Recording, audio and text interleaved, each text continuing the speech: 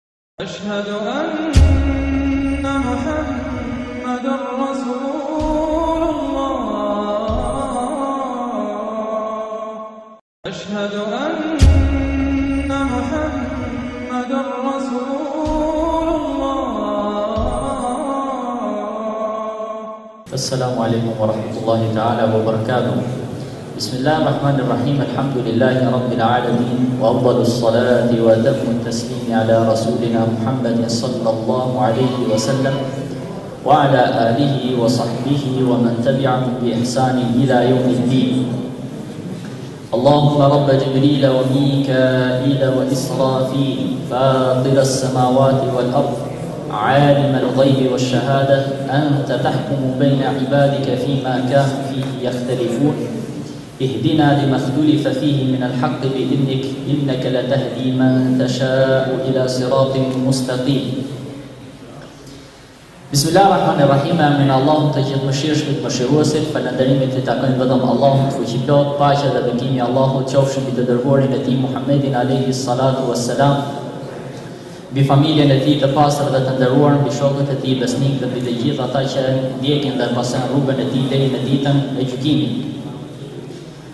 Vëllezër të dashur, me një sure të re nga suret e Kur'anit famëlartë, me një sure të madhe me suren El-Hujurat, një sure e cila ka zbritur në Medinën e Rasulit sallallahu alaihi wasallam.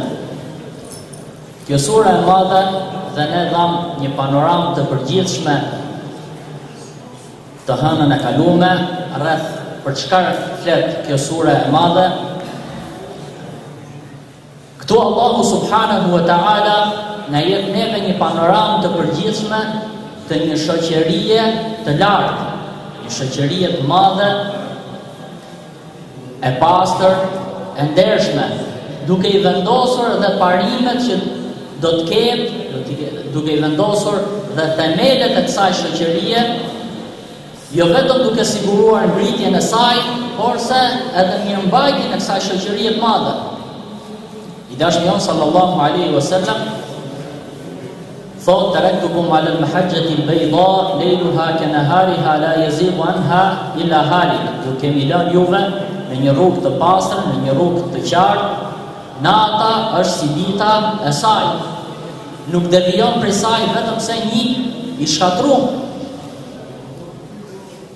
Një shoqëri kjo e cila do ta ketë zemrën e saj të pastër, do ta ketë gjuhën e saj të pastër, do të ketë një moral të lartë, një sjellje të madhe, një sjellje të pastër me Allahun subhanahu wa taala, do të ketë një sjellje të mirë dhe të madhe me të dërguarin e Allahut sallallahu alaihi wasallam, do të ketë një sjellje të mirë me vetveten E tij, çdo person do të ketë sjellje të mirë dhe me të gjithë shoqërinë që e rrethon atë. Kjo shoqëri e mirë, kjo shoqëri e pastër u arrit në një kohë. U arrit në disa momente kur erdhi profeti sallallahu alaihi wasallam. Mirëpo nuk është se ishte një produkt I minutit nuk erdhi si pasojë e një çasti, porse u deshën vite, u deshën kohë që sahabët të edukoheshin me profetin sallallahu alaihi wasallam. Kaluan 13 vjet në Mekë me sprova të ndryshme derisa u rrënjos dhe u ngulit besimi në zemrat e tyre. Dhe pastaj erdhi koha e Medinës, ku u shpalosën më shumë ligjet, u vendosën më shumë themelet e shtetit. Pra sikurse thamë nuk ishte thjesht produkt i minutave dhe çasteve, porse u desh shumë durim, u desh shumë punë prej profetit sallallahu alaihi wasallam derisa arritën një gradë të lartë.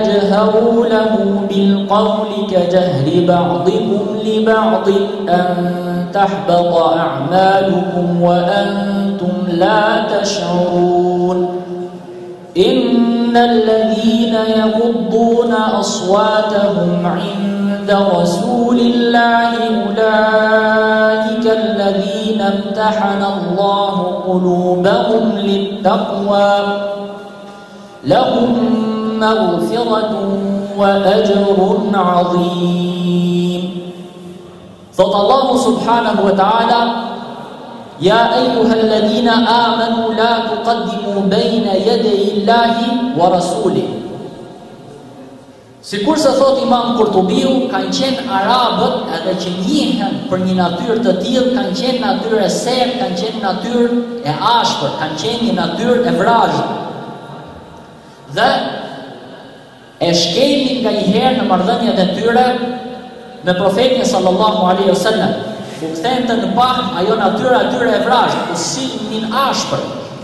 Edhe nuk e kishin problem me i thirr Profetit sallallahu alejhi o sellem, o Muhammed, o Ahmed, i thirrshin emër. Mirëpo, ashtu sikurse mund ta kemi pa ke libri i Allahut subhanahu wa taala sa herë ndodhte ndonjë gjë, Allahu subhanahu wa taala e drejtonte ummetin ke ajo që ishte më e mira, si në vetet e tyne dhe si në marrëdhëniet që duhet të kishin ata me Allahun dhe me të dërguarin e tij sallallahu alaihi wasallam. Pra, edhe në këtë sure tregon Allahu subhanahu wa taala moralin që duhet të ketë besimtari kundrejt Allahut subhanahu wa taala dhe profetit sallallahu alaihi wasallam dhe në çfarë mënyre duhet që ata të komunikojnë. Tregohet nga shkaqet e zbritjes së këtij ajeti Se, sikurse transmetohet tek Imam Buhariu, një ditë prej ditësh vjen tek profeti sallallahu alaihi wasallam një delegacion nga Bani Tamim.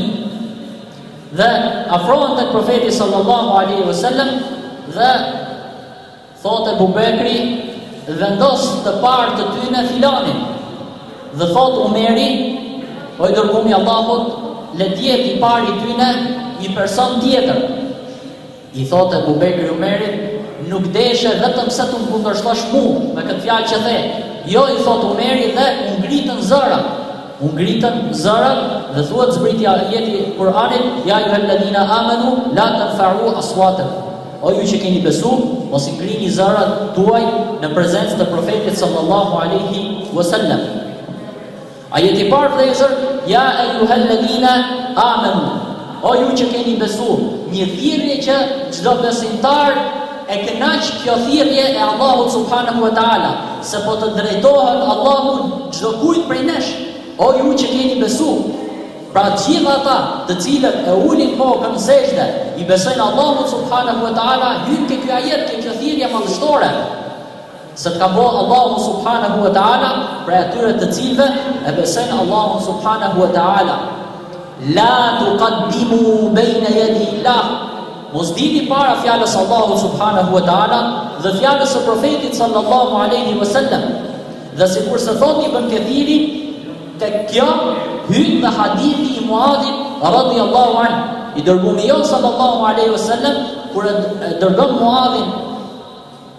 Në Jemen i thotë, me çfarë do të gjykosh? Terri mesele, me çfarë do të gjykosh? Thotë Muadhi radiallahu anhu, do të lexoj, do shoh ça ka libri i Allahut subhanahu wa taala, pra do të gjykoj me librin e Allahut. Po në qoftë se nuk e gjen, i thotë i dërgumi jon sallallahu alaihi wasallam, atëherë do gjykoj me sunetin e Rasulit sallallahu alaihi wasallam. Po në qoftë se nuk e gjen o Muadh, i thot Muadhi, atëherë do mendoj, do e gjykoj simas mendjes time. Si ta shoh të arsyeshme. Edhe i thot goditi profeti sallallahu alaihi wasallam gjoksin e Muadhit duke i thënë falënderimi i takon Allahut i cili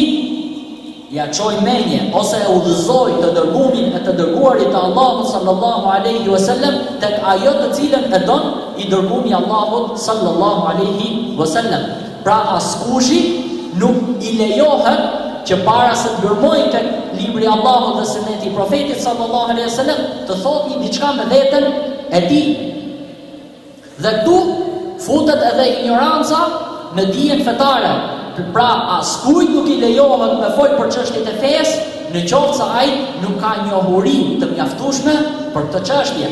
Porse, sikurse thot profeti sallallahu alaihi wasallam, inna ma shifaul ayyi as-su'al. Pyetja ose shërimi i injorancës është pyetja. Se u py, u pyetën disa nga shokët e Profetit për një mesele, ishte kur ishte një çep, dikush ishte i plagosur dhe gdhiu në mëngjes xhunub. Pyeti shokët e vet, i thanë, nuk ke zgjidhje tjetër vetëm se të lahesh, edhe ishte kohë e ftohtë. Ishte kohë e ftohtë. Ndoshta, ndoshta nuk e keni provu naj herë të ftohtin e shkretëtirës, por se i ftohti i shkretëtirës të ngjan sikur të hyjnë ke kocat. Të ngjan sikur futet ke kocat, e nin deri ke kocat. Aq i ftohtë është. Maj mend kemi qenë njëherë në vizitë ke i person, po ishte kohë dimër. Vallahi, ishim afër zjarrit dhe u dridhshim. Ishim afër zjarrit dhe u dridhshim. Ngrohte trupi, u bote akull kurrizi. Ftohtë shkretëtire, hy deri ke kocat. Dhe ky sahabi u la dhe vdiq. Dhe kur i shkoi haberi Profetit sallallahu alaihi wasallam, çfarë thotë? Kateluhu katelehumullah. E vranë që i vraftë Zoti. A nuk pyetën kur e dinin? A nuk pyetën kur ata nuk dinin? Pra pyetshin. Pra nuk lejohet me fol për çështjet e fesë nëse nuk ke dije të mjaftueshme për atë që ka thënë Allahu subhanahu wa taala dhe për atë që ka thënë i dërguari i Allahut sallallahu alaihi wasallam. Dhe kjo ka edhe kusht tjetër. Që ta që ta morim vesh ne mirë se çfarë do të thotë fjala e Allahut dhe fjala e të dërguarit të tij, po duhet me e dit mirë edhe gjuhën me të cilën ka zbrit. Pra nuk mjafton thjesht përkthimi i shkurtër, porse duhet me lexu. Ja, Imam Ibn Kethiri shife. Edhe prapë se prapë ka shumë gjona që kalon kalon mrena, edhe nuk lexon robi një, një nga libra që kanë shpjeguar Kur'anin famëlartë vetëm se do gjej fajde në të, vetëm se do gjej mirësi në të.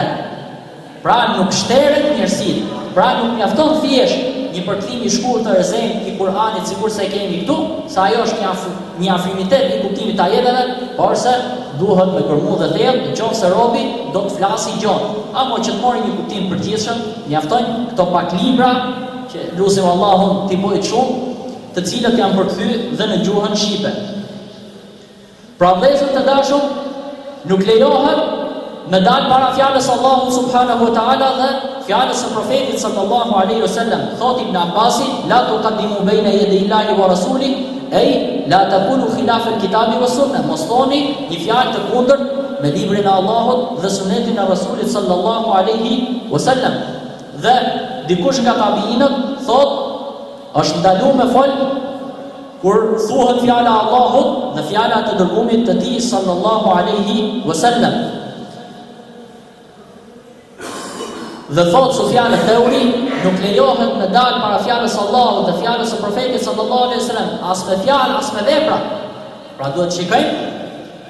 Se çfarë na kanë thonë neve, dhe sikurse e thamë hadithin e parë, i dashmi jonë thotë, ju kam lënë juve në një rrugë të pastër, në një rrugë të bardhë.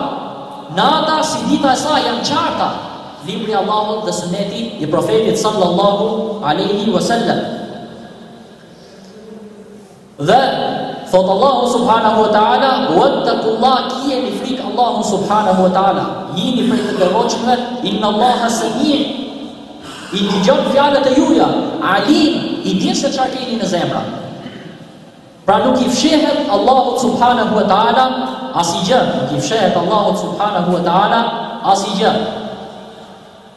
Shikoni vëllezër të dashur se në çfarë morali të lartë arritën sahabët e profetit sallallahu alaihi wasallam. Arritën deri në atë gradë, saqë kur i pyeste profeti sallallahu alaihi wasallam, edhe pse e dishin pyetjen, çfarë thonin? Allahu dhe i dërgumi i tij e di më mirë. Dhe për këtë kemi shembullin në kohën e haxhit, kur i dërgumi Allahut sallallahu alaihi wasallam i pyeti sahabët, "Ayu shahrin hadha?" Çfarë muaj jemi?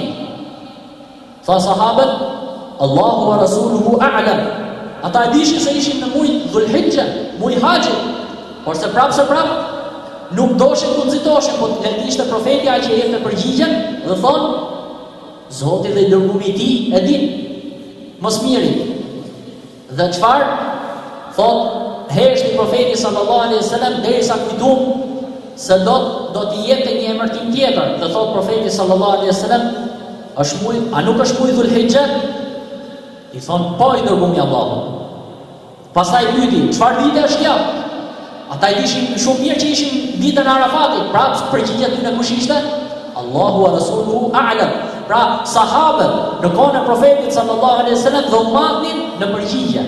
Kurse sot përgjigja në majë të gjuhës. Pra pa të thuj, vallai kemi një gjuhë kështu. Në një fjalë çi me thonë, po tak përgjigja në majë të gjuhës. Për të gjitha. Mirëpo shikoni sahabët, edhe pse e dishin, nuk u nxitoshin. Dhe kjo morali, edukata që ata morën prej Allahut subhanahu wa taala, dhe ashtu sikurse i edukoi, i edukoi profeti sallallahu alaihi wasallam. A nuk është hadithi i saktë nga Aisha radhiyallahu anha, kana khuluquhul Kur'an, ka qenë morali i tij Kur'ani, edhe sahabët çfarë? Nigjoshin ajetet dhe çfarë thonin? Nuk i kalonin ato derisa t'i zbatonin. Pra nuk kaloshin në ajetet e tjera derisa t'i zbatonin. Ky ka qenë morali i tyne. Pra nuk u nxitoshin sahabët e profetit sallallahu alaihi wasallam dhe kjo një moral i lartë prej tyre. Thot pastaj Allahu subhanahu wa taala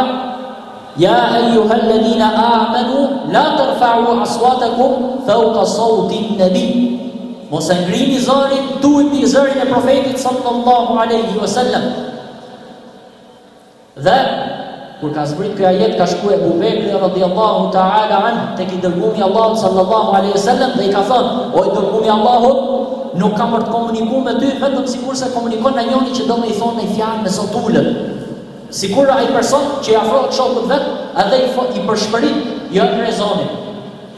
Nga frika se mos e ngrenin zërin mbi zërin e profetit sallallahu alaihi wasallam, edhe ti humbte atyre puna të dilshin kundër fjalës së profetit sallallahu alaihi wasallam. Gjithashtu vëllezër të dashur, transmetohet rreth këtij ajeti dhe një hadith i saktë tek Imam Buhariu, thotë Kur zbriti ky ajet, e humbi Profeti sallallahu alaihi wasallam, një nga sahabët i quajtur Thabit ibn Qais, edhe ky e ka pas zonin çik të lartë. Kur folte, e ka pas zonin e lartë. Dhe Thot njëri nga sahabët, o i dërgumi Allahut, po shkoj una po e shof si e ka punën. Dhe me të vërtet shkon, edhe e gjen atë ke shpia të brengosur, Dhe i thotë, çfarë ke? Thotë, ka zbrit një ajet prej Allahut subhanahu e ta'ala dhe unë jam prej banorve të zjarrit. Ngase, unë e kam zërin të lartë, e kam ngrit zërin, mbi zërin e profetit sallallahu aleyhi wa sallam.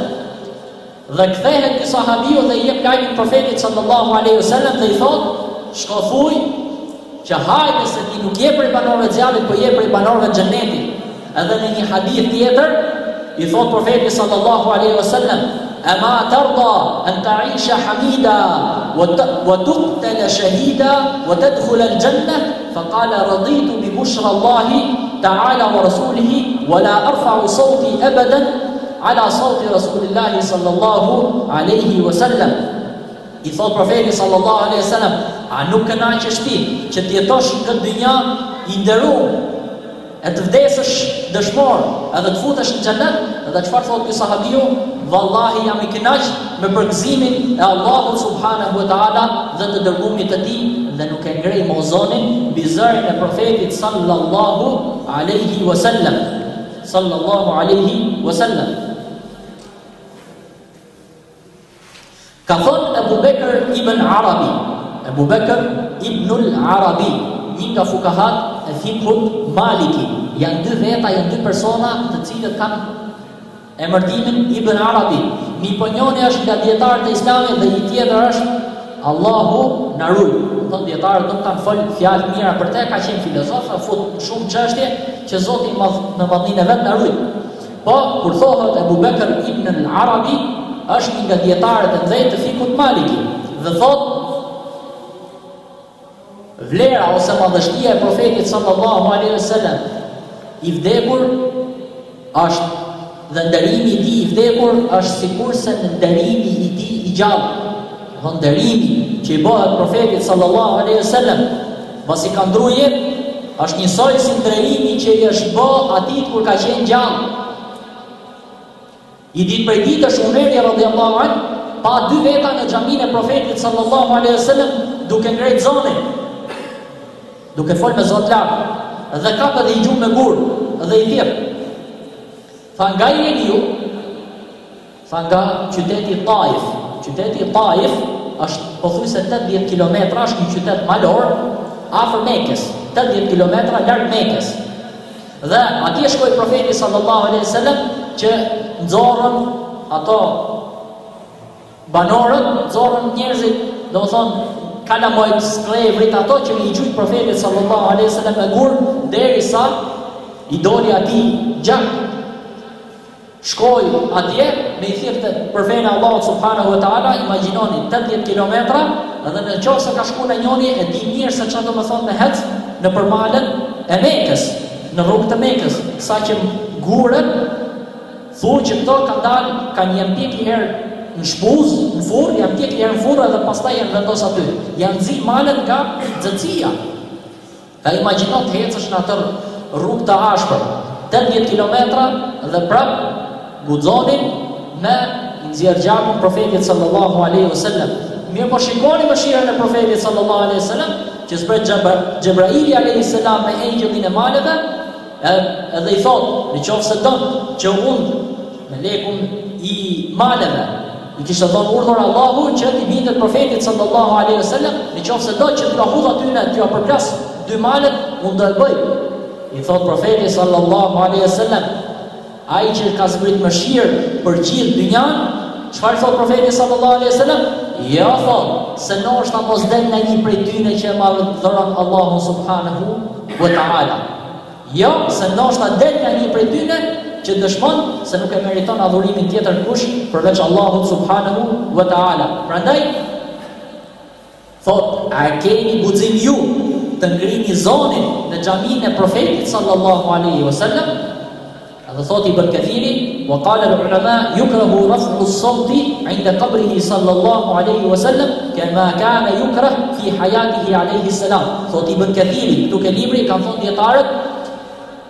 Është e urryer ngritja e zanit pranë varrit të Profetit sallallahu alaihi wasallam, ashtu sikurse ka qenë urryer të ngrihet zëri në prezencën e Profetit sallallahu alaihi wasallam. Dhe kthehemi prapë tek fjala e atij dietarit të madh Abu Bakr ibn al-Arabi dhe thotë dhe kjo vlen edhe për thënien e Profetit sallallahu alaihi wasallam. Pra vëllezër të dashur,